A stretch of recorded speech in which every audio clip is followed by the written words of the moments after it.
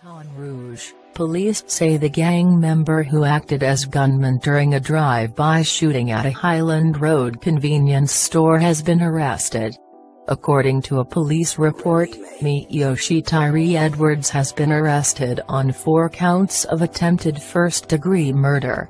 Authorities say on April 10, Edwards, a member of Top Boy Guerrilla Gang, TBG, was shooting at four members of the Bottom Boy Guerrilla Gang, BBG, and Never Broke Again, NBA, gangs.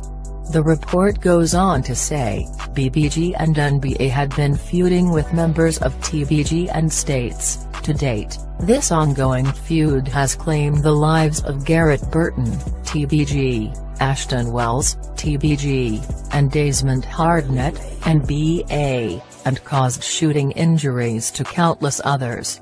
Detectives say a victim of the drive-by identified Edwards as the gunman who used an assault rifle to fire at him and three other gang members while they were outside of the convenience store.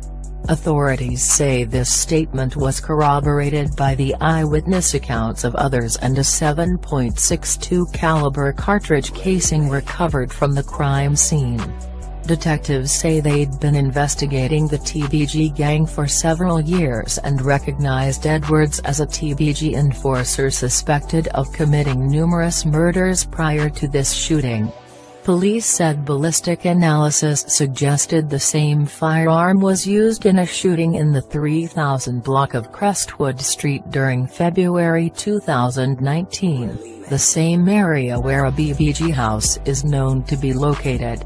Edwards was booked into East Baton Rouge Parish Prison on Wednesday, December 3. Baton